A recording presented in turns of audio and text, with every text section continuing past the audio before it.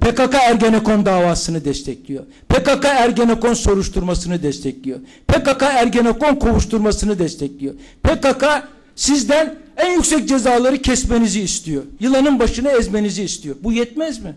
PKK'nın ikinci adamı iken yakalanarak Türkiye'ye getirilen Şemdin Sakık'ın Ergenekon davasında gizli tanık olduğu ortaya çıktı.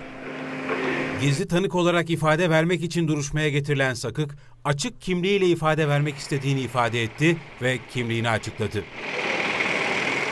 Tutuklu yurtseverler Sakık'ın ifadelerinin dinlenmesine katili dinliyoruz sözleriyle tepki gösterdi. Davada tutuksuz yargılanan İşçi Partisi Genel Başkan Yardımcısı Ferit İlsever, Sakık'ın iftiralarını 29 Ekim'de ortaya çıkan iradeyi karalama kampanyası olarak değerlendirdi.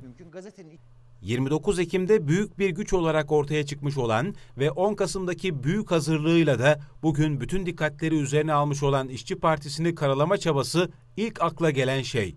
Bu amaçla oraya getirildiği besbelli bir şey.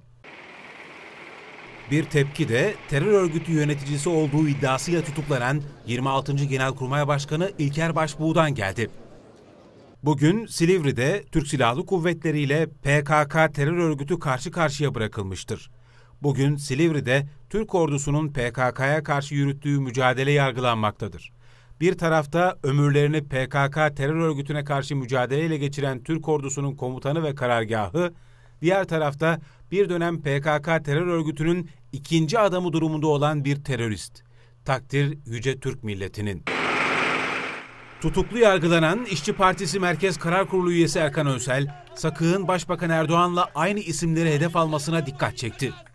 Başta Doğu Perinçek olmak üzere Tayyip Erdoğan kimleri hedef almışsa Şemdin Sakık da aynı suçlamalarda bulundu. Bu bir psikolojik savaştır. Korku dağları sarmıştır ve Tayyip Erdoğan gizli tanık odalarına sığınmıştır. Sakık'ın savcılık ifadesinde İşçi Partisi Genel Başkanı Doğu Perinçek hakkındaki iddialarına rağmen Perinçek duruşmaya getirilmedi.